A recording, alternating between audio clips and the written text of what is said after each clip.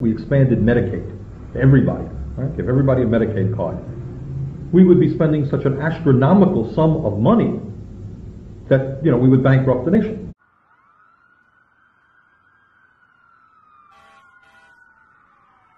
I am once again asking for your financial support.